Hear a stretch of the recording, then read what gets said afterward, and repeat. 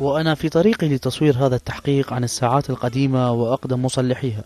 فكرت في أن ألتقي أولا السيد ناجي جواد الساعاتي لتكوين فكرة تاريخية عن أوائل الساعات في العراق ومصلحيها. وللأسف لم أعثر عليه إنما عثرت على العديد من باعي الساعات الحديثة والذين تحدثوا لنا عن سوق الساعات القديم والحديث منها. هذا السوق عندنا سوق الأمانة في بغداد في شارع الرشيد أول سوق للساعات. وأول سوق الأدوات الاحتياطية للساعات السبيرات. هذا اللي من السبعينات إلى حد الثمانينات الساعات الأصلية. أول بلد بالعالم اللي يستورد الساعات الأصلية هو العراق. الساعات الرولكس اللي اللي يستوردها العراق والسويسري والألماني استورد والياباني. إي. ما بعد آه، الحداثة اللي صارت بالبلد قمنا نستورد الساعات الكوارتز اللي هي الباتري حاليا.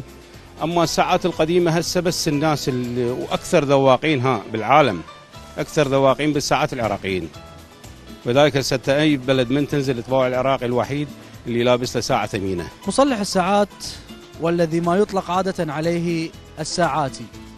اليوم سوف نلتقي مع الأخ خالد يعتبر آه، ثاني أقدم مصلح ساعاتي في هذا السوق. راح نتحدث معه راح يحدث لنا عن تصليح الساعات وعن هذه آه، المهنة آه، التي تكاد تكون آه، يعني شاقة ومتعبة لأنه بها تركيز عالي وبها دقة عالية. السلام عليكم خالد. السلام ورحمة الله.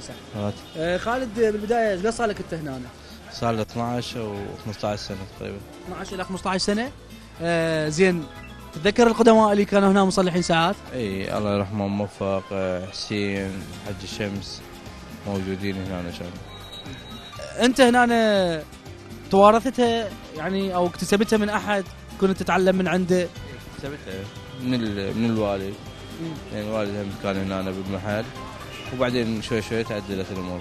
تعلمت. اي تعلمتها تعتبر هاي يعني المهنة صعبة؟ والله تركيز؟ والله صعبة يعني تركيز ودقة ارادتها تعب أرق. رغم صعوبتها تحس أكو بها متعة؟ اي طبعا.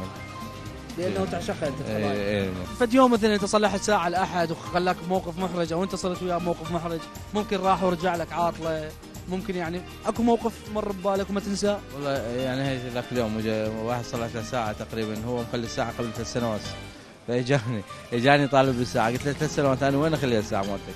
فإجاني أعطيته ساعة غيرها ومشيت يعني ذكرته أنت بعد ثلاث سنوات هو اجاك؟ ذكرته هيك يعني مجرد. ما تذكرت المهم يعني أعطيته ساعة. أعطيته ساعة.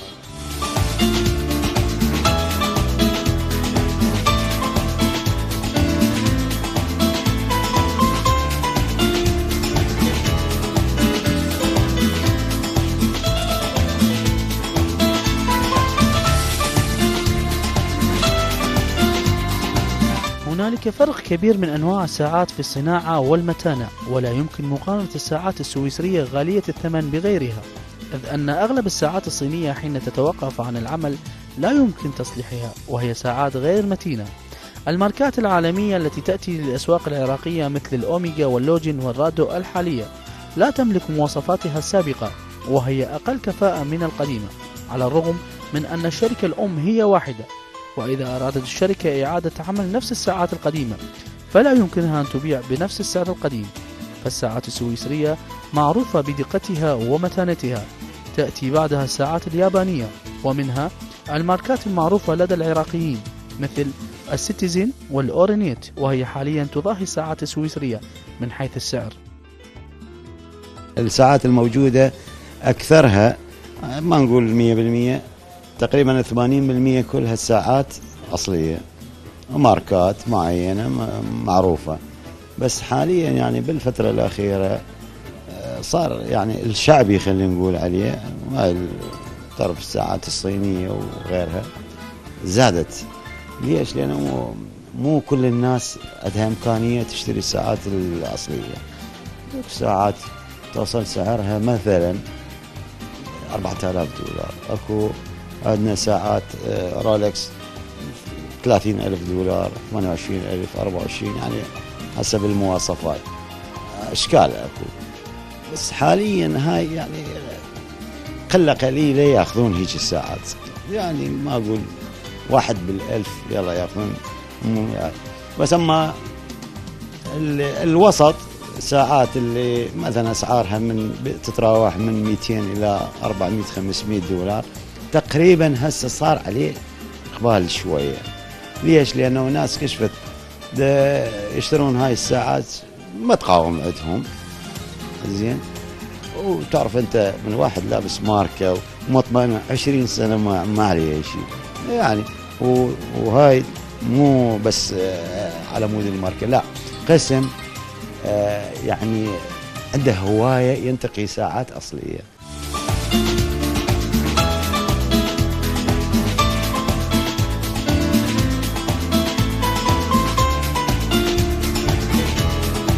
إن العراق كان البلد الأول في منطقة الشرق الأوسط الذي يملك وكالات عالمية لأكبر الشركات في صناعة الساعات اليدوية ومنها الأوميجا والرادو واللوجين وغيرها من الماركات المعروفة ثم انتقلت فيما بعد إلى أوروبا. الانزواء عن ممارسة تلك المهنة مع عالم الساعات بدأت في الأسواق العراقية التي تقوم بمهمة بيع هذه الساعات. وبالفعل كانت الأسواق المركزية تبيع أفضل أنواع الساعات وأشهر الماركات في العالم وانتهى عصر الساعات الفاخرة مع موجة الساعات الحديثة ودخولها بشكل كثيف. لقناة هنا بغداد حبيب محمد.